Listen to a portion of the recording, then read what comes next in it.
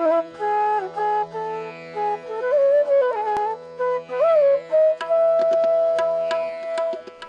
मराठीचा गौरव दिवस त्यानिमित्त मी दादांच्या डिजिटल लायब्ररीमध्ये माझ्या दोन रचना सादर करते. त्यातली पहिली रचना आहे हरवलेल्या ओळीची गोष्ट.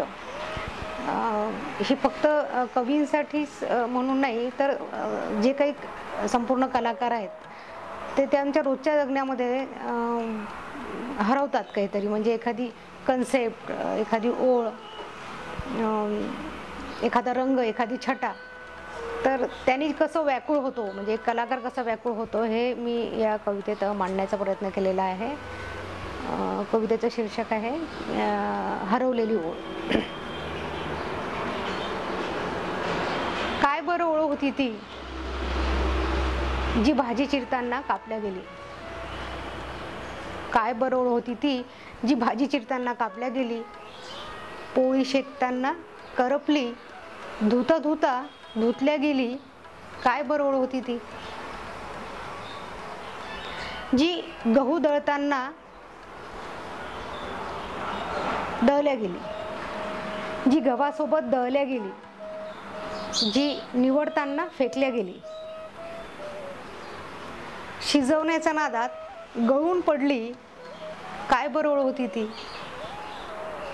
जी घासासोबत भरवल्या गेली. जी बाहू गर्दीत निसटली. जी व्याकुळ आठवणीत चिनल्या गेली काय बरोळ होती ती? जी कीबोर्डवर विरून गेली. जी फायलींमध्ये हरवली. जी हिशेबात जास्तीची म्हणून चालल्या गेली. काय बरोबर होती ती?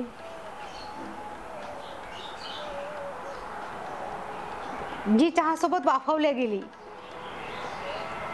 कातर वेळी उदास झाली. परत परत उठून कामात हरवली. काय बरोबर होती ती? जी सुईतील दोरा खालून निसटली. वाळत काढताना दोरीवरच राहिली.